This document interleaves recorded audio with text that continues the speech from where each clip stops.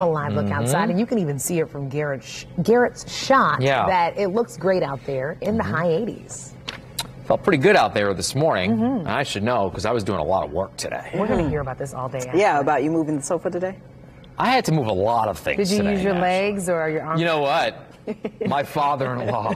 Thank goodness for the uh, big Jack Johnson, right? He, he came with all the equipment. He had these straps Brazil, strap Indiana's on. Brazil. finest. Oh yeah, you know, so he knew what he was doing. Good weather for it. Though. It was very It was nice this great weather. Yeah, it was very nice this Fantastic. morning. Um, at least you're not moving right now.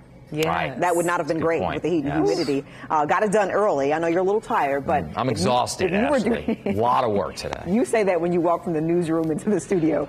Um, so I can imagine that you did very little this morning. I don't believe you. All right, so temperatures today did reach 88 degrees. So this is not a good time to be moving stuff as we are in our peak heating at the moment. Now, temperatures, they are warm, but it's not muggy. That's the good news here. What I'm viewing right now on radar is exactly what I promised you yesterday. A few showers and thunderstorms are starting to develop north of Interstate 70. So yesterday we tried to warn you about this system, and here it is, incredibly isolated. Indy, and area south, not much of anything happening. The further north you go, the more in the way of downpours you'll start to see. Heavier downpours right now moving through Lafayette, headed towards the Frankfort area in the next 10 minutes or so. The system uh, traveling to the south and east. As it moves off to the south and east, you'll see uh, kind of diminish in cover, which which means we're not seeing the heavier downpours once it moves to the south, and uh, some of it will kind of dry out slowly. Temperatures compared to yesterday, pretty close. It's a little warmer today, and actually just a little bit warmer than expected today, as we brought in more heat not the humidity because the wind's still out of the north.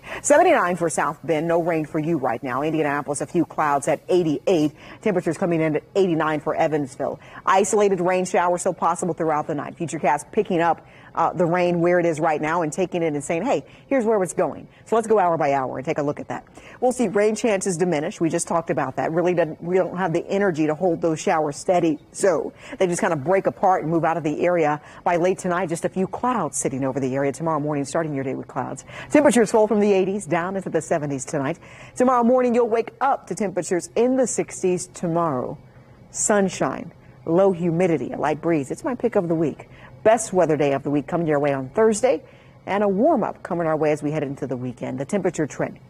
By Saturday, 87 degrees, humidity, and a chance for showers and storms. We'll build even more humidity by Sunday, a better chance of showers and storms. We're excited about the showers and storms because we need the rain. Rainfall deficit still with us. Peterman Brothers, heating and cooling forecast. Temperatures over the next eight days holding steady pretty much in the 80s for much of this forecast, right? I think it's, uh, we have the chance of showers and thunderstorms from Friday night through about Tuesday afternoon. We'll see some warm days with humidity building back in. The trend of seeing that 90 degree trend not really with us much in this eight day forecast for now. You know, enjoy the dry stretch of weather if you're dry, but if you're north of Interstate 70 here this evening, prepare for an isolated downpour. It won't last long, but you will add some rain to the rainfall totals. Thank you. Recall alert. Dog owners, check the treats that you're giving